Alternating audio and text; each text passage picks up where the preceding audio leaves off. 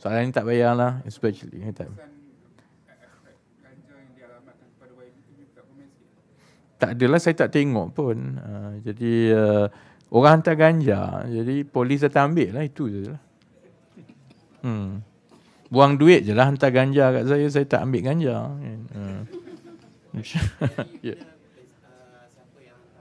So I don't know. I don't know. It's sent to the office. And then, you know, I don't open it myself. It's addressed to the Prime Minister and myself. None of us basically take weed. So, um, uh, I think it's a waste. Jadi uh, sudah tentu um, dia dihantar terus ke balai polis lah. Uh, okay, terima kasih.